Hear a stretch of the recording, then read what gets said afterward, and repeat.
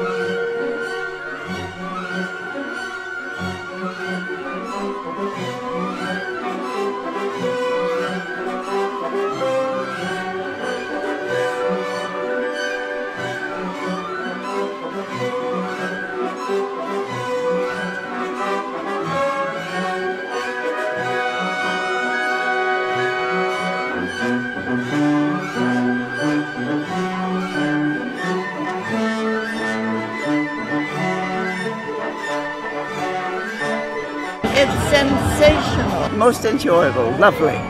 It was it was an exciting production. It's the best thing I ever saw, really. It was fantastic. It was amazing.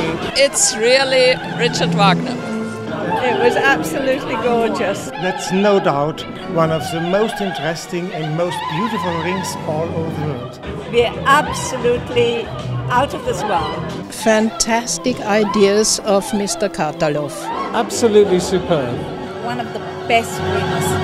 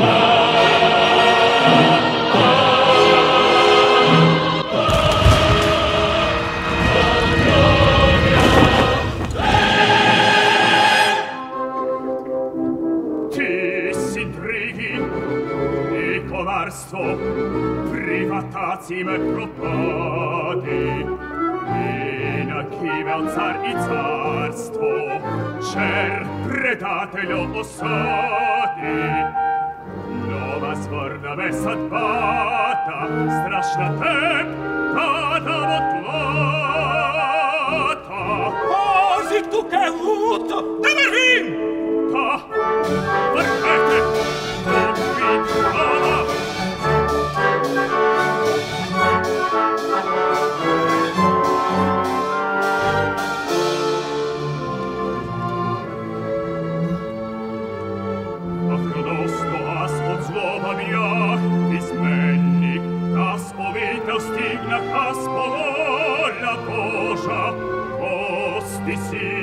за те, на слово.